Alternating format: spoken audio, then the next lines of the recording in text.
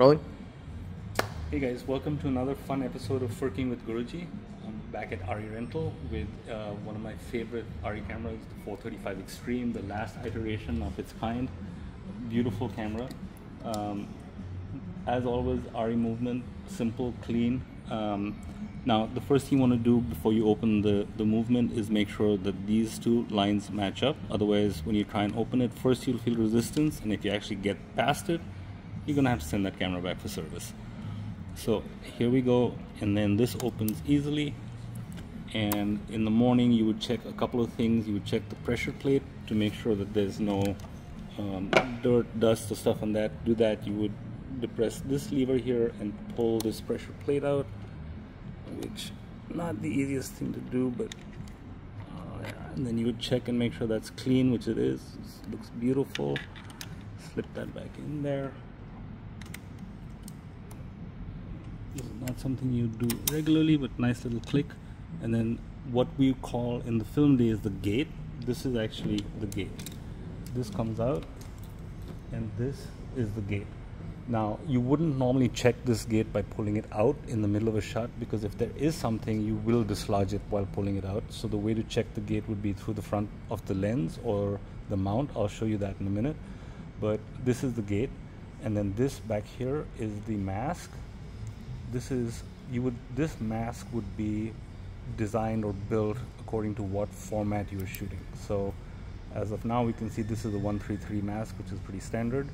Um, this gate goes back in here and this lever comes up that's in there. Now to load the film take the mag nice loop. You would put the put the movement back in place put the mag on top pull it through make sure there's you pull it all the way through because if you try and clip it in like this sometimes and there's a bit you're going to pinch that and break that off and then that you, are not going to be able to use it. So you're going to have to send that mag back for a respool so make sure it's all pulled in and then click it in. That's good.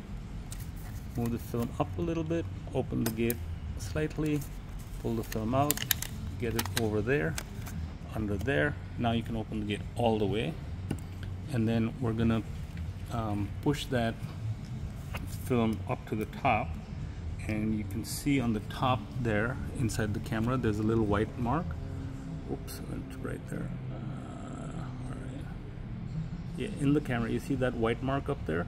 The film wants to be just intersecting that mark or right at that mark. So get the film like somewhere in that area where it's just intersecting the mark and then it should be good. There's a little yellow um, clip in here which you can see that little yellow clip that go a perf goes into that to kind of secure the film. You close the movement then you roll it make sure that there's nothing stuck. A couple of times then you can press this button as the phase button do the same thing electronically. That's good give it a quick spin. Everything sounds good no catching no scratching. And then that's the film counter. So to reset that oops wrong one. And wrong one. Wrong one. It's fun stuff.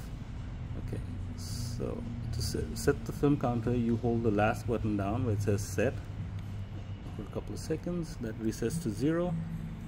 Close the gate I mean the door lock it and then you're good to go. Now what looks like on the inside this is what's happening inside the mag as you can see film is being transported through the camera running through there going all the way through and then spooling up on this side. Now you can adjust the pitch. This really sounds good but I'll show you you can hear what happens